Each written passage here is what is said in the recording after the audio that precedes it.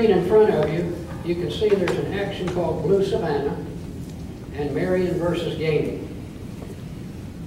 When I, oh, three years ago or more, this is one of the first actions that I read about, but I had no clue where it was. Two things came together about a year ago that brought it all out and allowed me to straighten it out. The first thing was Jo Church Dickerson uh, did a lot of research on Blue Savannah to find out where it was, what it was, and read statements uh, from some people that lived in the area. One of them was named Loftus Moonerlin, and you'll see him on the, his, uh, his last name on the 1825 map when we get to it. Uh, and his information is in a pension statement from 1933, uh, 1833 and 1837.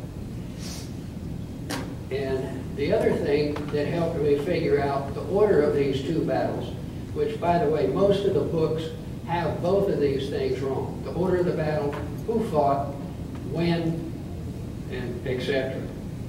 So was uh, Dave Nealon sent me a, a copy of Manning's, uh, one of Marion's letters about a year ago and asked did I have any idea what he was talking about.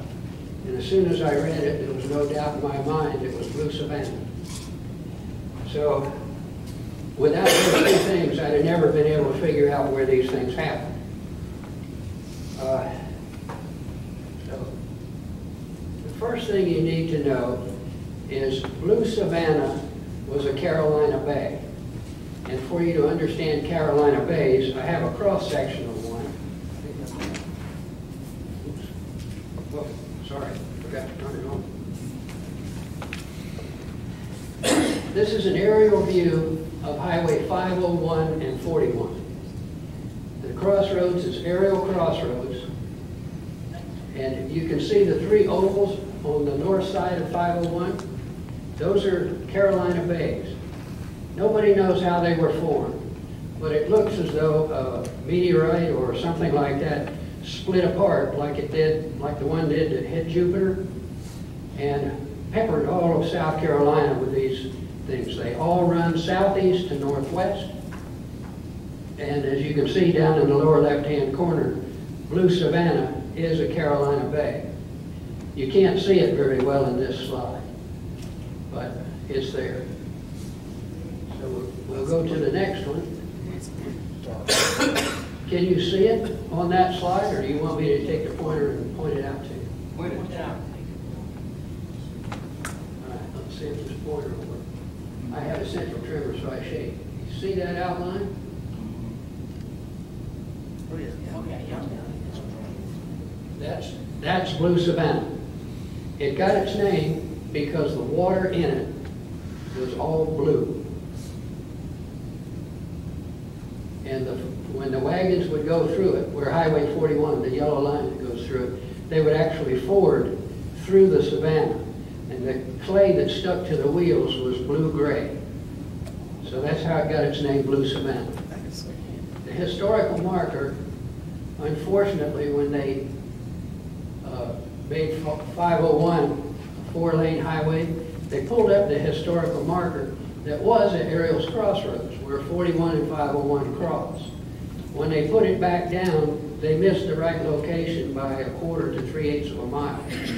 So if, if you read the historical marker and drive back in the back swamp looking for the place, you'll never find it. And by the way, you don't want to go in there. It's hard to drive in.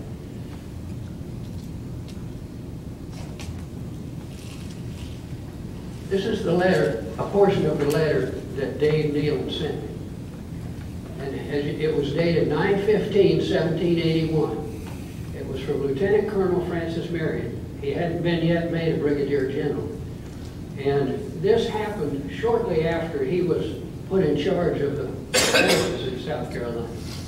And he wrote the letter to Major General Horatio Gates.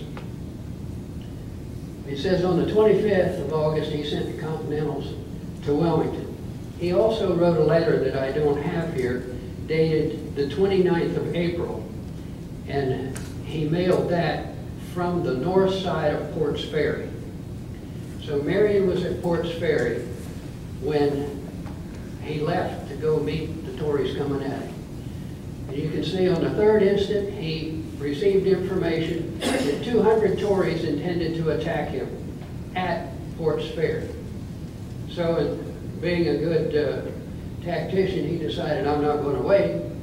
He immediately mustered 52 men, which is all he could raise, and set out going north up Ports Ferry Road to meet him and catch him by surprise. When he got to Blue Savannah, he found 45 men, and if, if you read in there, he killed or wounded 30 of the 45. The other 15 escaped, probably into Back Swamp, which is what one reference says. Back Swamp is the, the swamp on either side of the Little, the uh, Little Pee Dee River. And then it says, he, he just took them for the main body and discovered they weren't. So he continued north up Highway 41 for three miles. And then he met the 200 Tories coming at him in full march. His 52 men charged them so fiercely, they, he scared the dickens out of them and they all scattered into the swamp. And you can see the last line under the red uh, says they got into an impassable swamp all, to all but Tories. In the action, uh, well, maybe we're getting too far ahead. In the action, he lost one man in the first, he lost one man in the first action that was wounded. In the second action, uh, the Tories didn't suffer any casualties, but uh, Marion had three wounded and had two horses killed. But he, he scattered them so badly and scared them so badly, they didn't come back at him for a while. After that, he retreated back to Ports Ferry and built a redoubt on the north side. I've got some friends in Johnsonville and Hemingway that are looking to try to find that redoubt. But it's kind of difficult because in the winter, when the snakes aren't there, the hot river's high. So they either are having to fight floodwaters or they're having to fight snakes. So they're trying to find time when neither one is going to be a problem. Uh, This is the historical marker for Ports Ferry. It's about a mile on the right-hand side going north toward Florence from Johnsonville. It's on the far corner of a road that turns to the right. And that road does go to the south side of Ports Ferry, but it's on private property. And the last two or three miles that you drive, if you're going out that way, you better do it in four-wheel drive because the sand is about a foot deep. Good chance you'll get stuck.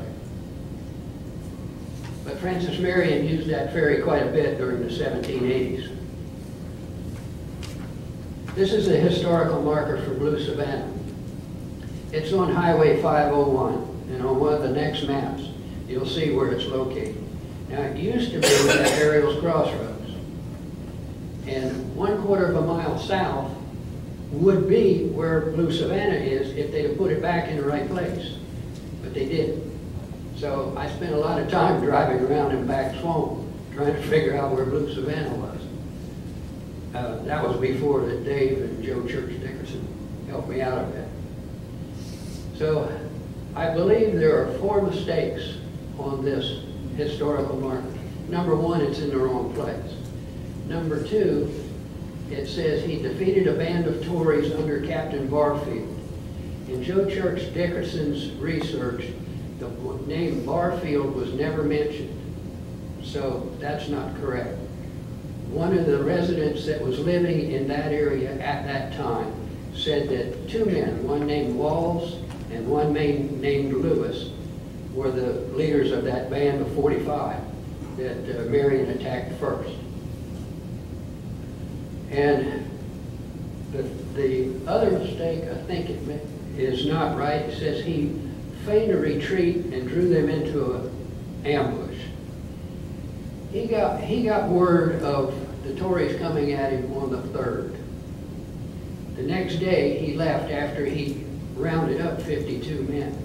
So I think probably he didn't get off or leave Ports Ferry until maybe five or six in the morning. Uh, It's 15 miles to Blue Savannah. So if they were walking their horses, which I doubt, it would take them five hours to get there. More than likely, they were going not at a full gallop, but somewhere in between. So I figured about five hours, uh, five miles to the hour. And divide that into 15, it would take them about three hours to get there. And his letter says that in the morning of the 4th, or on the morning of the 4th. So I think he arrived at Blue Savannah sometime between 8 and 10, right around 9 o'clock. Uh, They may have been up, but were probably still camped at, at the Savannah. I doubt that Marion would have had time to set up an ambush, send men out, and get them to chase him back. It's possible, but I, it's, to me, it doesn't sound very probable. So I really doubt that he led them into an ambush. The other thing, this is uh, the 1825 map, and oops, right there, you can see the last name of, of uh, and the L must be for Loftus. He owned the land where Blue Savannah is. The vertical road is Highway 41. The one going almost horizontal is Highway 501 as it was shaped before they remade it into a four-lane. And Ariel Crossroads is right there where it says MH, which stands for Meeting House. Uh, Everything to the right over to the river is considered now as being back swamp. It's not real swampy. Um, Right now, now it's been deep ditched on each side of each dirt road, which is a one-lane road in there, and they kind of make a checkerboard to drain it. So the land is dry, but the ditches are 10 to 12 feet deep. So if you decide to drive around back in there, be careful, especially when you're turning around. It'll bury your car. Uh, And then Marion stated he continued three miles further on, and between Blue Savannah and the square where Marion meets Gainey is three miles. Gapway, if you're familiar with that road, Highway 41 going up that way, Gapway is, now is a church and just a couple of houses, it's not very big. But that's, that's where Gapway is. So it happened about halfway between 501 and Gapway. And that's where he met the 200.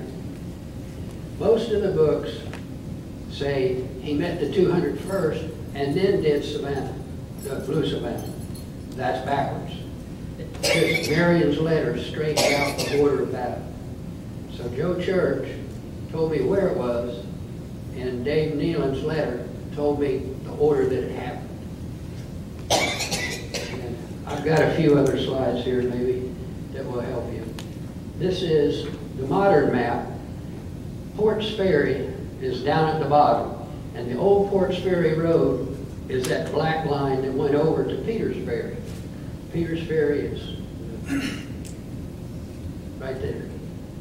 So I think Marion took this route up and then 41 up and took the right-hand fork at Centenary to get to Blue Savannah. From there, he marched three miles north. Gainey was, uh, his territory was the upper Pee Dee. And he, I'm sure if you've all been in the revolution very long, you know he was one of the main opponents of Marion. And Barfield was too. But Barfield was never mentioned in any of the original documents as being at Blue Savannah. Uh, This again is the modern map, but here you can see where the historical marker is. It's here. It should be over there. And when you go a quarter of a mile south from where they have put the historical marker, it puts you in the middle of back. And that's not a place you want to drive around to, I tried it. Uh, It's too bad they didn't put it back where it belongs. At least people would have been able to go down Highway 41 and if they knocked on the door, two people tell them where it was. So, and you can see I measured from Blue Savannah up, it says 2.97 miles. I figured that was close enough to three. So that's where it happened. It may have actually happened where that other road comes in just north of where I have the square. And That's the end of Blue Savannah. If you have any questions on that one before I start the next one, I'd be happy to answer them if I can. Yes, sir? There a problem to uh, seeking to have the historical marker relocated? I don't know. I look for places where people were killed and houses were burned and churches were burned. I don't, I don't do the historical marker thing. And most of the, most of the actions, and there are over 400 sites in the book I wrote. Uh, That's more than any other state. Out of all of those 400, if 10% have historical markers, we're lucky. And unfortunately, since aluminum has become so expensive, some people are stealing historical markers or breaking the tops off of a $2,000 sign to sell it for five or six bucks worth of aluminum. A good case in point is the historical marker that was at Halfway Swamp, which is just right over there. I was fortunate enough to get a picture of that before it got stolen. So if any of you would like a copy of that, I mean, a photo of that historical marker, send me an email. I've got cards out there, and I'd be happy to send you a picture of it. Yes, sir? That historical marker at this time next week will be back in place. Oh, great. And by the way, if you've never been to have, to that uh, Mill Pond, that's one of the prettiest sights in the middle of the winter when the sky is pure blue. Cypress trees growing up through it, it's just one of the prettiest sights in the whole state. I Really encourage you to go see that. And if you walk behind, the mill house is on one side, the pond is on the other side. The spillway is still there, and if you walk behind the building, the mill building, and look down, the millstones are on the side of the creek down there. Any other questions? Okay? Jack, Yes, sir. Um, I know the first action we always call Blue Savannah. Does the second action have a name that was, it was called historically, or do you ever, or is it just all rolled together into Blue Savannah? Not that I know of. Most of the books that I've read say he took on Gator first and then went to Blue Savannah. And, I mean, the, these are well-known historical books that a lot of people use for reference.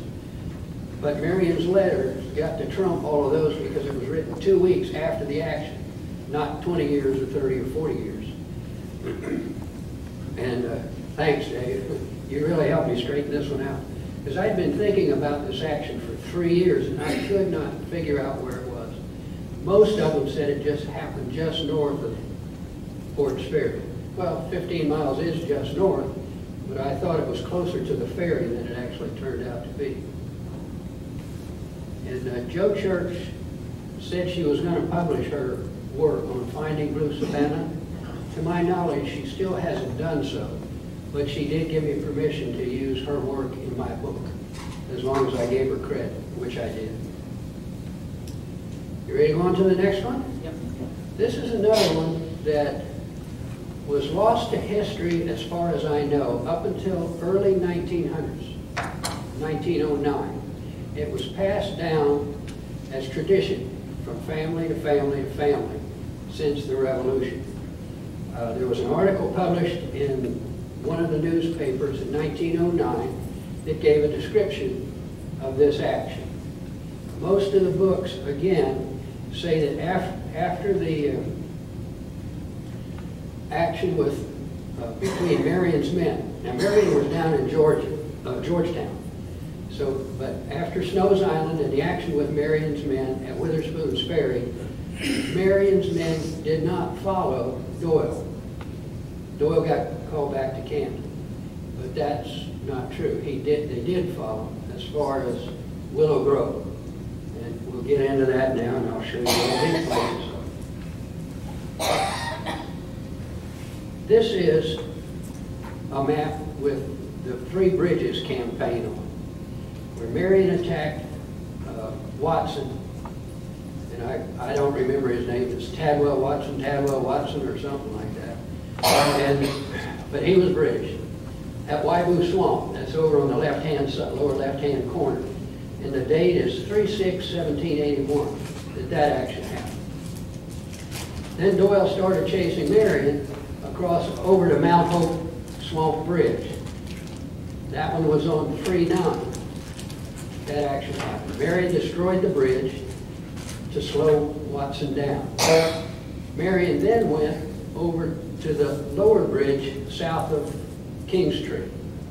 And at that action, McCottry's rifles, and there's somebody here that's related to McCottry's, uh, shot at the British. The, the Americans were on the north side, the British were on the south side. They couldn't cross the river, couldn't take the bridge because of rifles.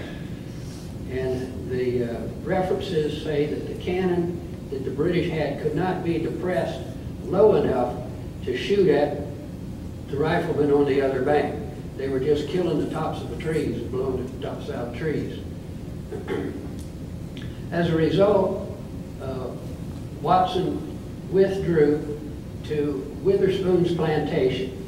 The 1825 map has two Witherspoon's plantations. One, uh, let's see, one is right in there, and the other one is over here. On this map, I chose the one furthest away because the riflemen, Marion's riflemen, were harassing him. They were shooting at the camp.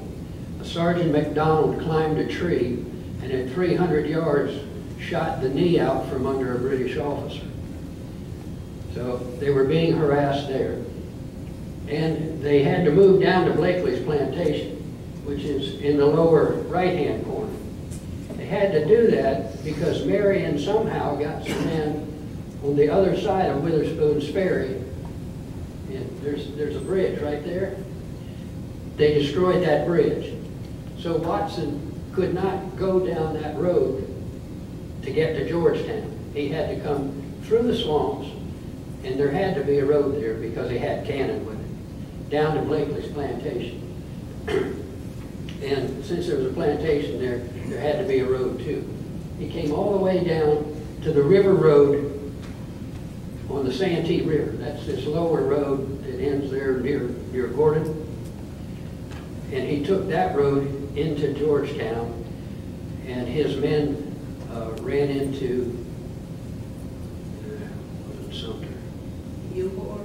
Who was it? Was it you or? At- Yeah, he ran into Horry at Sampit Bridge, and that was the Battle of Sampit Bridge. Marion was coming up behind and was, was going to attack him from the other side, but the British had cannon, and uh, Marion couldn't fight the cannon, so he gave up there. That happened on the 20th of March. And this talk is not about that, but that's a brief account of what happened. Marion was down in Georgetown on the 20th. He learned of his camp on Snow's Island being attacked by Doyle when he was in Georgetown. This is an 1825 map, kind of stylized so it would all fit on one screen. You can see where Snow's Island is. Doyle destroyed Marion's camp on Snow's Island, came across and went up to Witherspoon's Ferry, crossed the ferry and burned the ferry so that Marion's men, now Marion wasn't with them, but some of his men were chasing Doyle. They had a, a rifle duel across the river, and it must have been Doyle's rear guard that did that. But because they burned the ferry, Marion couldn't cross. And the textbooks say he had to go five miles for a place, to find a place to ford the river, the uh, Lynch's Creek. And most of the books say he did not follow them. But this story tells you that he did.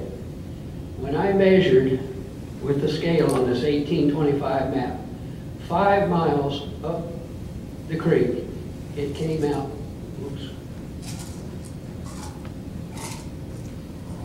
Hit the wrong button. You can see a dashed line right there. That's a dashed line that's on the 1825 map, and it goes to Captain Stone's house. There were two Captain Stones listed in Dr. Bobby Moss's book. And if you'll give me a minute, I'll find their names. Because all of this hasn't been followed in my notes.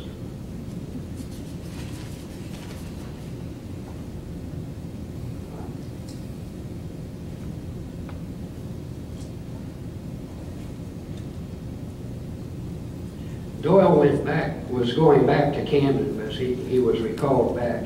And this is shortly before the Battle of Hobkirk's Hill. So that's probably why he was called back. And on this map, there's 25 miles. This was a 50-mile chase. There's 25 miles of map missing in the upper left-hand corner of the right-hand map. It was just a road that kept the same angle going northwest. So to fit everything on one screen, I cut that out and hooked these two together.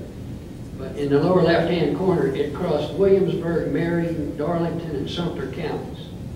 So it, it was a long chase. And, uh,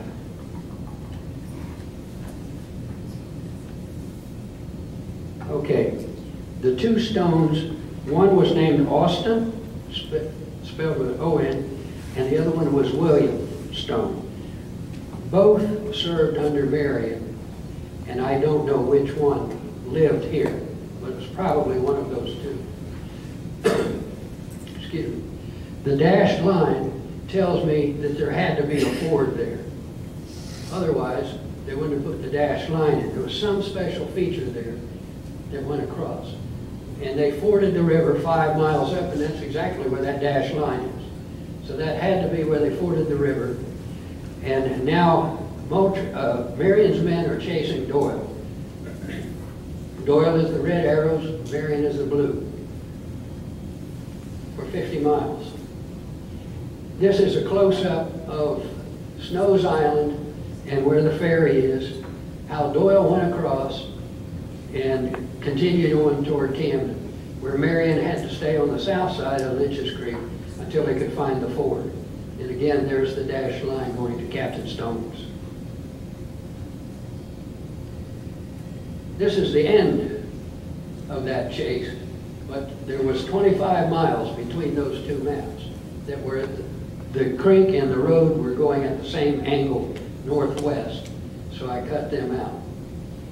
Uh, The reason on the left-hand map that there's, it looks like two different rivers or creeks, uh, these were two different Mills Atlas maps that were married together and they were drawn by different people, so they don't match exactly.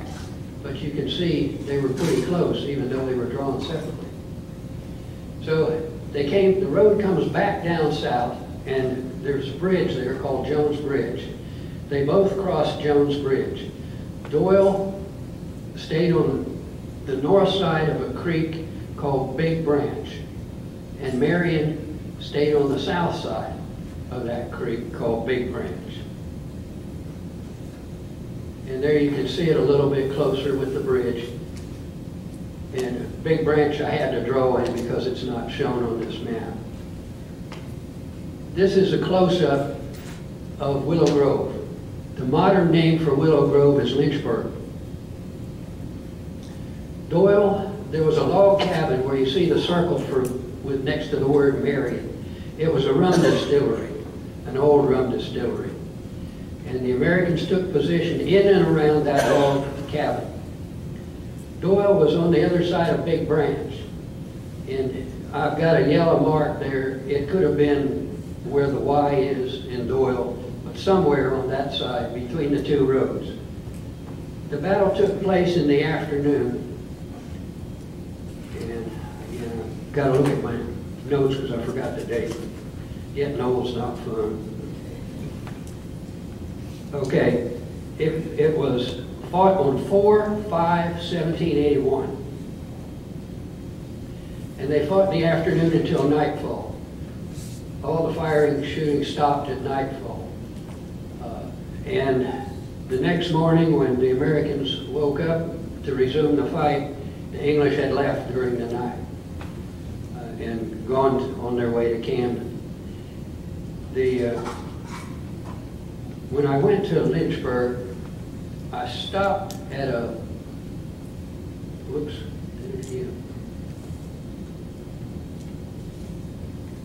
Right about there is a hardware store and a kind of a mom and pop store. I stopped and knocked on the, went in and asked them if they had any idea where this happened. The man walked me over to his front door and he said, yeah, he said, see that white house over there? That's where the log cabin was. See those trees back there? That's Big Branch. So it, everybody there knows what happened. I don't think there's a historical marker for this. The first account that I'm aware of was in the 1909 newspaper. It was written by someone that grew up in Lynchburg, and he said, when they were kids, this was 1909, so when he was a kid, he was probably in his 40s then. So he, he was alive during the Civil War. He said, when we were kids, we used to go over to that log house or cabin that was still standing there, and we would pry the British and lead shot out of the building, pound it flat, cut it into squares, and use it in our shotguns hunt rabbits and squirrels. I first learned of this action by accident. I was at Singleton's Mill, or Poinsett Park, and the head ranger gave me a little excerpt of a few books. One of them was the history of Sumter County.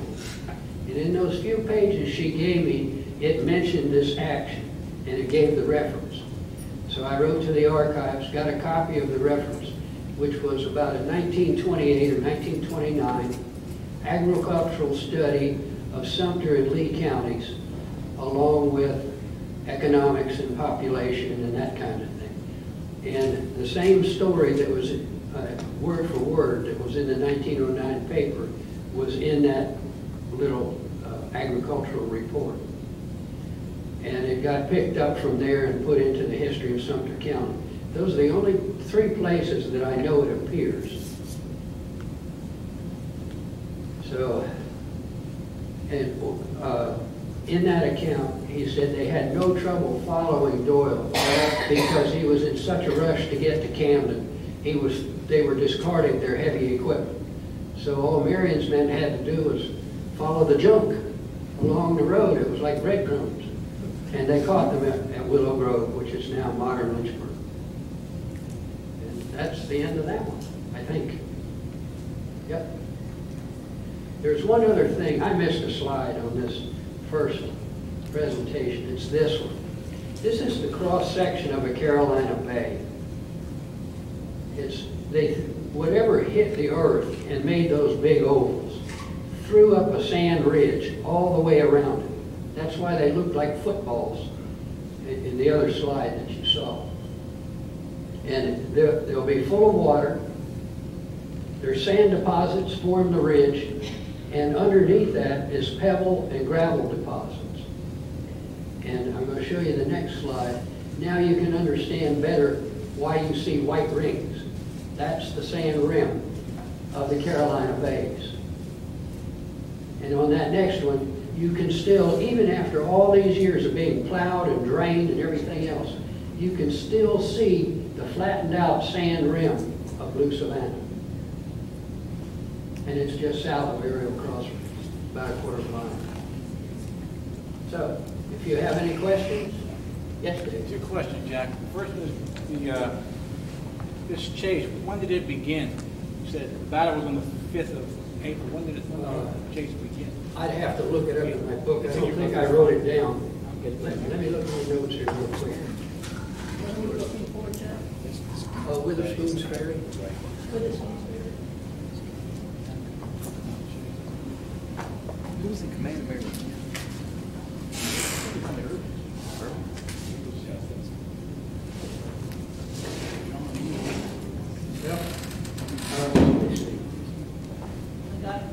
Hey, uh, Doyle destroyed, destroyed Marion's camp on 329 1781. Witherspoon's Ferry happened on 4 3 1781. So the chase started on 4/3/1781, and it took them about two days to get to Willow Grove or Lynchburg for that 50-mile chase. So, they, they were moving quickly. Doyle wanted to get back to camp. He had orders to get back to camp. So two days is, is reasonable for fast-moving troops. Either being chased and having to get someplace, probably by a certain date. Uh, After this, after uh, Willow Grove, Marion's men did not follow Doyle any further. Instead, Marion collected his men and they went to Fort Watson and had, the- I think that was the date that they had the siege of Fort Watson. Any other questions? Question? Yes, sir. Uh, these, these locations, et cetera, are they in your book? Uh, Savannah, the Battle of Blue Savannah is in my book, and I went back and looked at it. As far as I know, it's correct, because I got these letters before I printed the book. Uh, Willow Grove is also correct, because I had that information before I printed the book. And one other thing I'd like to tell you, if, if you have a copy of my book, I didn't have a website when the first ones were getting sold. I now have a website, and uh, if you want me to, I can give you the web address or pick up a card. It's on my cards. But when I find a better location, more accurate, or a better text on any of the pages in the book, I rewrite them and post them online so that you can print them and add them to your book and have the latest information. And as you might guess, this is an ongoing work. I'll probably be dead before it's finished. But if you know of any new locations, battles, skirmishes, or murders, church or house burnings, let me know, and I'll put them in the next edition. If you know of a better location, more accurate than the one I have in the book, let me know, and I'll correct the page, rewrite it, and put it online. Any other questions? Yes, sir? Did- Have you located Payne's Plantation? That's a location that's often mentioned. Whose plantation? Ames Plantation, that's mentioned in a number of books as being a favorite hideout of Francis Marion. Uh, No, I haven't. And I haven't given any, any time really to hideouts, cemeteries, things like that. I was interested in where people got killed or buildings were burned, important buildings. Uh, Like Charles Baxley wanted me to unravel what happened to the around the Battle of Ports Ferry. And it turned out there was two or three things that happened that I didn't know about until he pushed me to dig into it, and I found some more actions there that are not in the book. Uh, A lot of the meeting houses, churches were burned because, well, Indian Town. And that was one of the reasons Marion did not want Watson to cross the Little Inches River at the lower bridge, because it would give him access to Indian Town, Snows Island, and Marion's home territory. The church uh, at Indian Town was burned. And uh, it- at the time, the guy that burned it was either Wayne, I think it was Weymouth. He said it's a sedition shop. And that's where the Patriots got together to plan what they were going to do and talk about politics. Most of the Episcopal churches and the Presbyterian churches were on the Patriot side. Most of the Baptist churches and other denominations were on the Tory side. And you all know that Tories supported the British and the Whigs supported the Americans. So the plantation you ask about, I don't know where it is. Any other questions? Yes, sir? Yes, the men that Marion had with him on these actions, were they considered uh, militiamen? Yes. He, he really hadn't gotten into being regular Army and regular kind of tactics until later in his career. This, these were all volunteers that went with him. Like uh, the Battle of Savannah, he said he could only muster 52 men. Well, normally a commander would say, I'm crazy if I put 52 against 200. But Marion went for it. He didn't sit back and wait for the battle to come to him. He went after it, and as a result, he surprised them. They didn't expect him to be coming. And they, he scared them all away. There, I digress a little bit? But one of the Patriot commanders wanted to increase his force with volunteers, so he confiscated a, a barrel of rum from a Tory, and he managed to get all the local guys drunk and signed them up, and off they went. This this was down in Fairfield County, Jenkins Crossroads. Off they went, full of liquid courage, and they were so drunk they could hardly stand on their horses. And anything they had with them that they could put whiskey in, they took. They're riding down the road and they ran in, into some British troops. And they started yelling, there they are, boys, let's get them. They scared the British so bad, the British ran away. Not a shot was fired. Uh, Sorry about that. That didn't happen close to here, where we married. Any other questions? Well, I guess I'm finished.